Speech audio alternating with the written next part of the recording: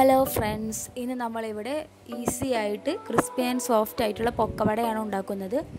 അപ്പോൾ നമുക്കിത് എങ്ങനെയാണ് ഉണ്ടാക്കുന്നത് നോക്കാം. അതിനായിട്ട് നമുക്ക് വീഡിയോയിലോട്ട് പോകാം. ഇതിനായിട്ട് ഞാനൊരു ചെറിയ സവാള ഒരു ചെറിയ പീസ് ഇഞ്ചി മൂന്ന് പച്ചമുളക് രണ്ടല്ലി വെളുത്തുള്ളി കുറച്ച് വേപ്പില എന്നിവയാണ് എടുത്തിട്ടുള്ളത്. പിന്നെ മൈദയും കടലമാവും. ഇവയൊക്കെയാണ് മെയിൻ ഇൻഗ്രീഡിയൻസ് നമുക്കത് പൊടിയായിട്ട് അരിഞ്ഞെടുക്കാം. ഞാൻ നന്നായി അരിഞ്ഞെടുത്തിട്ടുണ്ട്. ഇതിൽ നമുക്ക് വെളുത്തുള്ളി ഓപ്ഷണലാണ് നമുക്ക് ഗ്യാസിന്റെ പ്രശ്നം ഉണ്ടാവാതിരിക്കാൻ വേണ്ടിയാണ് ചേർത്ത് കൊടുക്കുന്നത്. പുതിനില മല്ലിച്ചപ്പ് എന്നിട്ട് ഫ്ലേവർ ഇഷ്ടമുള്ളവർക്ക് അതും ചെറുതായി അരിഞ്ഞിട്ട് കൊടുക്കാം. ഇനി ഞാൻ ഇൻഗ്രീഡിയൻസ് എല്ലാം നമ്മുടെ ഒരു ബൗളിലേക്ക് ഇട്ട് കൊടുക്കുകയാണ്.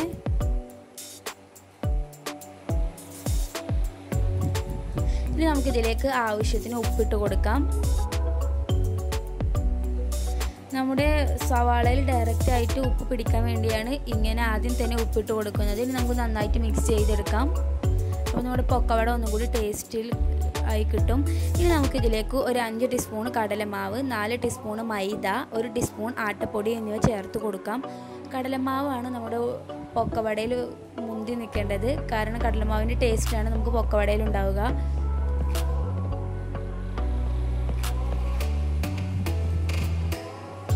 ഇനി ഈ മാവിലേക്കുള്ള ഉപ്പ് നമുക്ക് ചേർത്ത് കൊടുക്കണം.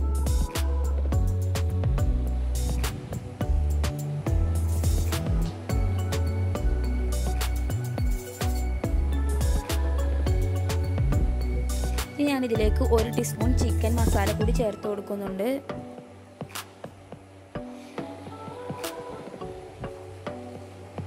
ഇനി നമുക്ക് ഇതിലേക്ക് ഒരു കാൽ ടീസ്പൂൺ മഞ്ഞൾപ്പൊടി ചേർത്ത് കൊടുക്കാം. ഇനി ഒരു കാൽ ടീസ്പൂൺ മുളക് പൊടി കൂടി ചേർത്ത് കൊടുക്കാം. ഇനി ഞാൻ ഇതിലേക്ക് ഒരു പിഞ്ച് കായംപൊടിയാണ് ചേർത്ത് കൊടുക്കുന്നത്. ഇനി നമുക്കിതിലേക്ക് കുറച്ച് കുറച്ചായി വെള്ളം ചേർത്ത് നല്ല കട്ടിയായിട്ട് കുഴച്ചെടുക്കാം. മാവ് കൂടുതൽ ലൂസാകാൻ പറ്റില്ല. നല്ല കട്ടിയിൽ തന്നെ വേണം. നമ്മുടെ ഈ ഏകദേശം ഈ പരുവത്തിലാവുമ്പോൾ നമുക്ക് കുഴ നിർത്താം. ഇനി നമുക്കിതൊരു പത്ത് മിനിറ്റ് റെസ്റ്റ് ചെയ്യാനായി വെക്കാം. ഒരു ഏകദേശം പത്ത് മിനിറ്റ് കഴിഞ്ഞു. ഞാനൊരു പാൻ അടുപ്പത്ത് വെച്ചിട്ടുണ്ട്. അപ്പോൾ നമ്മുടെ പാൻ നന്നായി ചൂടായി. ഞാൻ ഇതിലേക്ക് ഓയിൽ ഒഴിച്ചു കൊടുക്കുകയാണ്. നമ്മുടെ എണ്ണ നന്നായി ചൂടായി വന്നിട്ടുണ്ട്. നമുക്കിതിലേക്ക് നമ്മുടെ മാവ് കുറച്ച് കുറച്ചായി ഇട്ട് കൊടുക്കാം.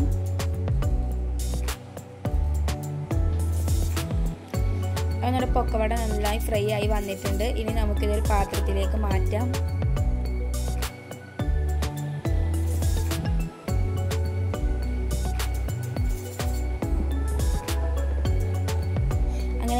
ഞാൻ ഓരോന്നോരോന്നായി പൊരിച്ചെടുക്കുകയാണ്.